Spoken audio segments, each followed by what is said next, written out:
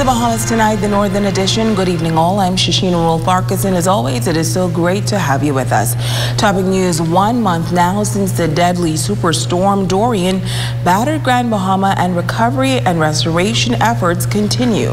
Tonight, the Minister of State for Grand Bahama says bit by bit, this island is coming back together, and he is optimistic that the new disaster management ministry will help to drive a speedy recovery.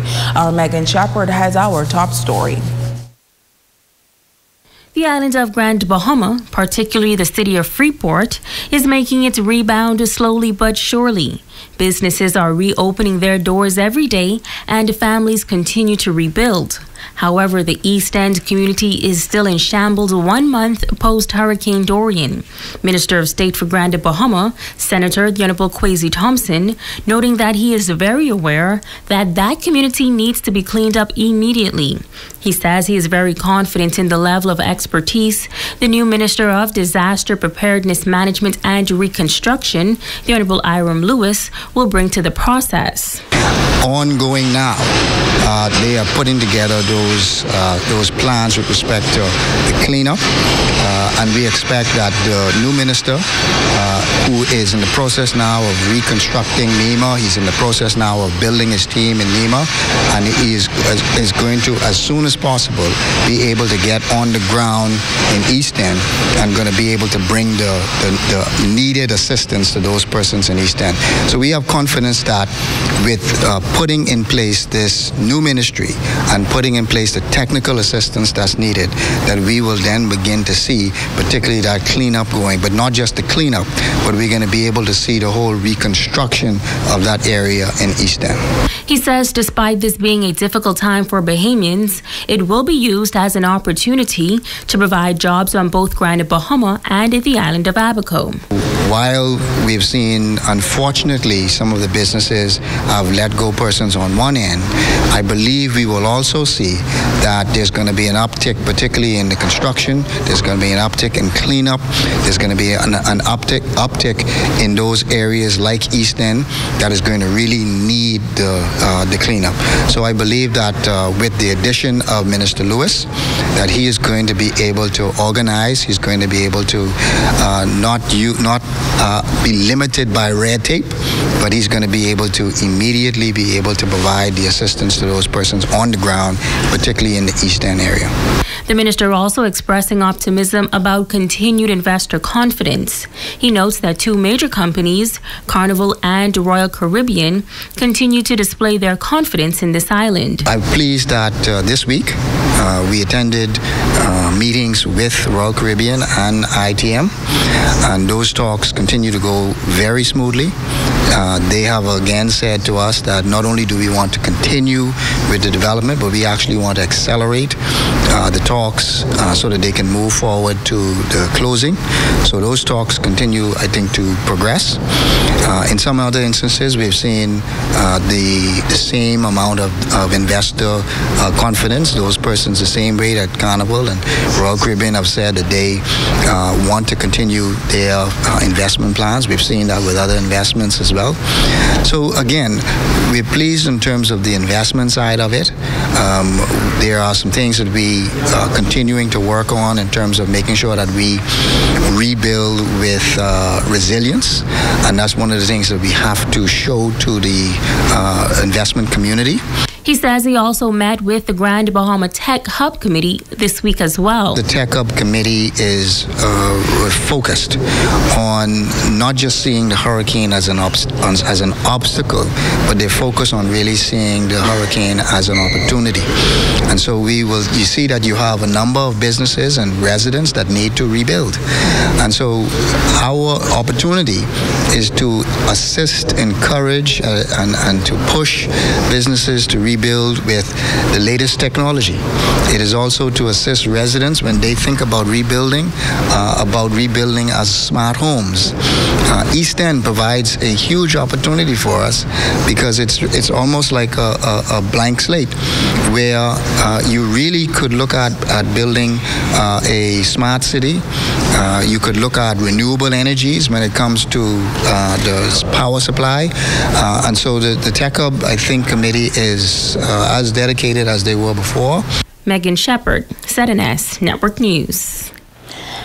Thanks, Megan. Meantime, the nation's leader is expected on Grand Bahama this weekend to assess recovery efforts on this island. Yesterday, Prime Minister Dr. Hubert Minnis led a delegation of cabinet ministers to Abaco to take a look at recovery and reconstruction efforts on that island, including security manpower. Minnis left for Abaco shortly after delivering the first in a series of communications in Parliament on the progress of recovery in the wake of Hurricane Dorian. Now, the delegation visited Marsh Harbor and Treasure Treasure before returning to the capital today. Also from Abaco, Water and Sewage Corporation has authorized Marsh Harbor operations to restore water supply to the government clinic, the Abaco Beach Inn, the government administration complex, Marsh Harbor International Airport, and the primary school in Central Pines. In other news, due to the extensive damage caused by Hurricane Dorian to the airport's infrastructure, operations are still limited and officials are not clear as to when they will return to a state of normalcy. This results in a loss for the economy as it relates to facilitating tourism and trade. Our Ramiko Knowles met with a chief of the Pelican Bay Hotel to find out how they're managing during such a difficult time. General Manager of the Pelican Bay Hotel, Magnus Alnebeck, says the non-operational airport terminal is a threat to the economy of Grand Bahama. He says without a functioning airport, the Freeport model is not going to work. The hotelier is adamant that the current practice of persons traveling through Nassau to get to Grand Bahama just isn't sustainable airport is owned 50% by the families behind the, the, the, Port Group Limited, or as we call it, the Port Authority, and the other 50% by Hutchison. And and I think it's an it's an ownership issue. They they need to get this airport back up and running, or they need to say, we are not going to get it up and running, and then somebody else needs to step in. I think, you know, that is uh, really important at this point in time is that the airport gets going. Alnebeck says the hotel did incur damage due to the storm. However, the establishment remains open. Now, with the international airport being closed, tourists traveling to the island are little to none. He says the only persons staying at the hotel are those coming to the island on private planes to provide relief assistance and essential services. So we don't have any tourists. I mean, I don't think there are any tourists in Grand Bahama. These are people who are coming here and who are helping us getting this place back on, on their feet, on, on our feet. And obviously, they understand the circumstances involved in getting here. So the people who are coming here are either coming by private charter or they are going through Nassau. And whilst many persons are out of work, the staff of Pelican Bay were told they can return once the all clear was given. We will have work for you to do. So come to work as quick as you can. Unless you're dealing with an emergency in your home, come to work. And if the problem is that you can't come to work because you have nobody to look after your children, bring your children with you. We'll take care of them. So we set up a little temporary childcare facility for those ladies in particular who came in with their kids to start cleaning up the hotel. Mm-hmm. And by doing that, we were ready to reopen the same day as the storm was over. Alnebeck says it is something that their employees appreciate. Ramiko Knowles, ZNS Network News. The Grand Bahama Airport Company threw a press statement noting that airlift from international markets is still weeks away. Officials say due to the extensive damage to the infrastructure, airport operations are still limited to daylight and visual flight rules. But they are prioritizing repairs to the flight safety operations and navigational aids to extend the operating hours of the airport beyond clear weather in daylight hours. The next phase will be the airport's capabilities to accept and clear direct flights from the United States. Airport officials say it will require significant repairs, but they are hoping to have direct flights to and from Fort Lauderdale by the middle of November, subject to approval by the U.S. Transportation Security Administration. Now, international flights from countries other than the U.S. can be accommodated today with advance notice, as arrivals will be processed on site and outbound clearings will be handled off-site prior to departure. While the remaining shelters left open since the passage of Hurricane Dorian officially closed today. Social workers helping with that transition. And as Jamila Mizik tells us, those leaving the shelters today are from the storm ravaged East Grand Bahama area. For weeks, the St. George's Gymnasium served as a shelter for displaced residents, but now they have to find other living arrangements as the Ministry of Education works to reopen schools soon. Assistant Director of Social Services, Paula Marshall says, thanks to a kind gesture, five of those families from the East staying at the gym now have some place to stay. We have to commend the people in the East End for looking out for their own.